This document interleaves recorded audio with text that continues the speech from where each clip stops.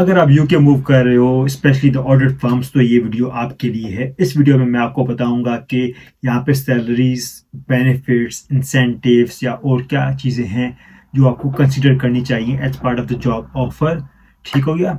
तो आगे जाने से पहले let me introduce myself this is Prem I am chartered accountant मैं यहाँ पे डिलॉइट में हूँ for now as a manager been in UK for more than three years now and I will be guiding you through के यहाँ पे forms पे क्या सीन है, क्या बेनिफिट्स वगैरह अवेलेबल हैं?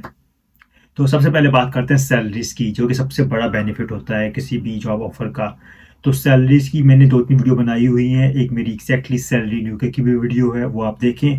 बट ऑन एवरेज अगर तीन चार साल का एक्सपीरियंस है आपका किसी और कंट्री का पाकिस्तान इंडिया कहीं से भी फोर का या टॉप टेन फर्म्स का यूके में आपको जॉब मिल जाती है एज अ सीनियर या एज एन ए एम तो प्रॉब्ली आपको 45 50 की रेंज में 45 to fifty thousand pounds annually की रेंज में कुछ आपको अमाउंट मिलेगी। सो so, वो एक स्टैंडर्ड है। वो एक और मैंने वीडियो बनाई हुई है वो मैं इसकी डिस्क्रिप्शन की आ, मैं लिंक डाल दूँगा तो आप वो देख सकते हो। अब बात करते हैं बेनिफिट्स की जो कि नॉट दैट मच कॉमन अब मैं एक एक फर्म का अलग अलग नहीं बताऊँगा कि क्या बेनिफिट्स है। I will give you general idea कि यहाँ पे किस तरह के बेनिफिट्स हैं। तो नंबर वन एक होता है कैश अलाउंस तो कैश अलाउंस ये होता है कि वो टैक्सेबल नहीं होता. बेसिकली उस अमाउंट से आप टैक्स फ्री बेनिफिट्स आप बाय कर सकते हो. लाइक like, मैंने लास्ट टाइम एक बार लिया था डेंटल इंश्योरेंस तो uh, मेरा उस अमाउंट से टैक्स फ्री अलाउंस जो था उससे कैश अलाउंस से मेरा पैसा कटा था तो मुझे टैक्सेशन का बेनिफिट हुआ था बेसिकली सो एक कैश अलाउंस होता है. मैं डेंटल इंश्योरेंस की बात अभी नहीं कर रहा वो हम अलग कवर करेंगे क्या होता है क्या नहीं. बट एक एक अलाउंस है आपका कैश अलाउंस जो कि फॉर्म्स देती हैं apart from your base salary तो अगर आपकी लेट से सीनियर आपकी forty five thousand pound annual salary थी तो आपको कैश अलाउंस एक्स्ट्रा होगा, जो कि बहुत कम होता है ऑफकोर्स बट एक सेपरेट अमाउंट है।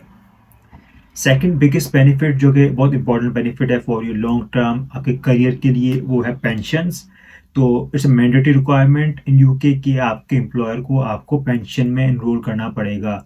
ठीक हो गया? तो पेंशन कितनी होती है? Pension is usually based on आपकी जो बेस सैलरी है, जैसे अगर let say forty five thousand pound आपका एनुअल सैलरी थी तो पेंशन उस बेस करेगी। डिपेंड करता है फर्म्स वाइड कंपनी वाइड कौन कितनी पेंशन देता है बट यूजली चार, साढ़े चार परसेंट जो है आपकी कॉस्ट जो आपकी सैलरी है, उसकी अमाउंट बनती है पेंशन वो एग्जैक्टली अमाउंट आपकी सैलरी से भी डिटेक्ट होगी और आपका एम्प्लॉयर भी पे कर रहा होगा। वो एक किसी और pension company pension management company पे जाएगी, आपका फंड अक्यूमुलेट होता जाएगा। तो पेंशन पे थोड़ा बता दूँ, आगे जाने से पहले पेंशन मैंडेटरी है इनरोल करना किसी भी कंपनी को आपके लिए, लेकिन आप उससे ऑप्ट आउट कर सकते हो एट एनी टाइम लेकिन वही है कि अगर आपको पैसा पड़ा हुआ पेंशन में, वो आपको नहीं मिलेगा जब तक आप रिटायर नहीं होते, जो कि आपके सेवेंटी ईयर्स की एज पे आप जाके रिटायर हो गए तो बट अगेन मेरा खुद का पेंशन में पैसा पड़ा हुआ है और जब टाइम आएगा then it will be useful for me तो लोग यहाँ पे करते हैं इट्स अ गुड बेनिफिट अगर आप 300 अगर आप अपने अमाउंट दे रहे हो तो 300 आपकी फर्म भी दे रही है साथ में। तो आपके 600 जा रहे हैं पेंशन के अंदर। So this is something to consider number third जो है, वो है कि आपकी जो इम्पोर्टेंट इंश्योरेंस जो होती है क्रिटिकल इलनेस इंश्योरेंस और आपकी जो होती है लाइफ इंश्योरेंस ये आपकी फर्म्स यूजली कवर करती हैं। इसका एक जो होता है अम्ब्रेला है बेसिकली डेढ़ से दो lakh pound usually I expect के मिनिमम इतना आपका कवरेज होगा। बट ये आपकी फर्म्स कवर करती हैं। आपसे इसका कोई पैसा नहीं लिया जाता। है this is employment benefit usually कि यार आर कवर फॉर दैट उसके बाद एक जो है नंबर फिफ्थ के इनकम प्रोटेक्शन स्कीम भी है। कोई कोई फर्म कवर करती है कि आपको उस, वो इंश्योरेंस भी आपके लिए पे करती है। उसका मकसद ये होता है कि अगर आपकी जॉब चली जाए कहीं भी तो आप एक इंश्योरेंस आपके पास कवर है जो आपको प्रीमियम देगी, पैसा देगी वो पर मंथ तो वो भी स्कीम कुछ फर्म्स में अवेलेबल है. एक एक जगह पर मैंने देखी स्पेशली के पी में I think it's available here तो ये मैंने पाँच बातें ऑलरेडी कर ली. उसके अलावा नंबर सिक्स जो है ना, वो ये है कि कुछ फर्म्स के अंदर सब्सिडाइज लंच भी होता है. अगर आप बाहर जाओगे ऑफ़िस में जैसे ऑन फ़ूड स्ट्रीट तो आपको तकरीबन सात आठ पाउंड मिनिमम पड़ेगा एक एक टाइम का खाने का लाइक जस्ट सैंडविच या एक wrap etcetera but firms have canteens inside specially the London office जो कि बहुत बड़ी ऑफ़िस हैं. एंड वहाँ पे आपको तीन चार पाउंड का सब्सिडाइज लंच मिल जाता है या आपको लंच वाउचर्स मिल जाते हैं, जो कुछ फर्म्स हैं यहाँ पे जो कि ये कर रही हैं. तो ये आप इसको कंसिडर करें. नंबर सेवन नंबर सेवन ये है कि जब आप यहाँ पे आते हो तो you usually get one day at least relocation leave तो आपकी एक लीव एडिशनल भी अवेलेबल है। नंबर एट, वो ये है कि आपको यूजुअली एनुअल लीव्स तो मिलती हैं अब वो सब फॉर्म में एग्जैक्टली सेम नहीं है it can differ but on average let's say 25 दिन आपके working days are annual leave जो कि आपको यूज़ करनी है एनुअली तो आप उसको काउंट कर सकते हैं। कुछ फर्म्स में 28 दिन भी हैं, जैसे आपका वीडियो है, यहाँ पे उसमें 28 दिन की एनुअल लीव्स हैं, जितना मेरा आइडिया है तो it differs it differs from everyone number nine कुछ फर्म्स ने पब्लिक हॉलीडेज अलाउ की हुई हैं कि उसको आप फ्लैक्स करें। बेसिकली अगर यहाँ पे जैसे जैसे इंडिया वाकई में इंडिपेंडेंस डे है, कि वहाँ पर छुट्टी है तो यहाँ पे बैंक हॉलीडेज हैं। अब वो बैंक हॉलीडेज स्पेसिफिक डेज़ पे हैं, लेकिन अगर आप उनको फ्लैक्स करना चाहो कि यार मुझे पाँच अगस्त की जो छुट्टी है गवर्नमेंट की, वो मुझे नहीं लेनी और मुझे किसी और दिन लेनी है जैसे मुझे अपना काम है कोई मेरा इवेंट है तो आप वो कर सकते हो। डिलॉइट ने ये पॉलिसी लॉन्च की थी। इस साल में आई थिंक कुछ और फॉर्म्स भी कर रही हैं या करेंगी। तो फ्लैक्सीबल पब्लिक हॉलीडेज की भी पॉलिसी है।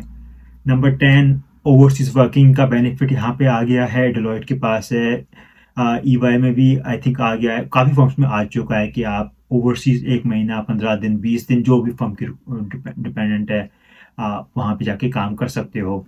Number eleven work from home की बड़ी फैसिलिटीज़ हैं यहाँ पे कि आप फ्लेक्सिबल वर्किंग बहुत बहुत अच्छी है। आ, ऐसा नहीं कि आप रोज़ ऑफ़िस जा रहे हो स्पेशली आफ्टर कोविड जब से हमने घर बैठना शुरू किया है।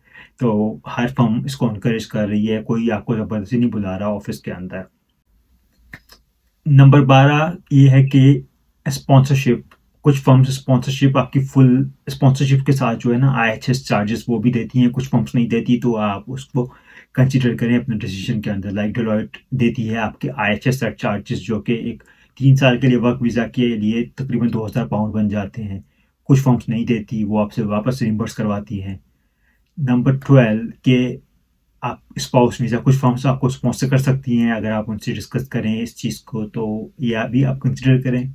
नंबर फोर्टीन नंबर फोर्टीन ये है कि आपके पास अपॉर्चुनिटीज़ काफ़ी होती हैं ग्रोथ के लिए। यहाँ पे बहुत सारा डायनामिक बिज़नेस है तो आपके लिए ग्रोथ की अपॉर्चुनिटीज़ भी हैं।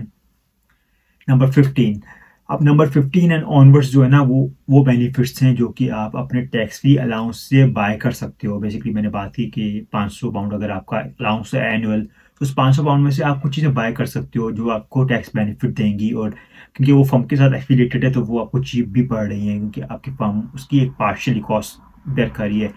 नंबर नंबर सिक्सटीन जो सबसे बड़ा इंपॉर्टेंट फैक्टर है उसके अंदर वो है कि प्राइवेट मेडिकल इंश्योरेंस काफ़ी फर्म्स आपको प्राइवेट मेडिकल इंश्योरेंस दे रही हैं। बेसिकली फ्री ऑफ़ चार्ज कुछ फर्म्स आपको मे भी थोड़ा सा चार्ज करें but private medical insurance firms in U K are giving that और काफ़ी बड़ा बेनिफिट है फर्म कॉस्ट पे करती है। आपके लिए टैक्सेशन इम्प्लीकेशन तो हैं but you are not bearing any cost तो private medical insurance is really helpful specially जहाँ पे एन एस एस की अपॉइंटमेंट अपॉइंटमेंट मिलना is very difficult number seventeen अब वो कैश बेनिफिट्स की जो मैं बात कर रहा हूँ, उसके अंदर मैंने जैसे डेंटल इंश्योरेंस बाय की थी फॉर फॉर वन ईयर तो वो उसमें से कटा। उसके अलावा bike for bike for the work basically आप साइकिल बाय कर सकते हो।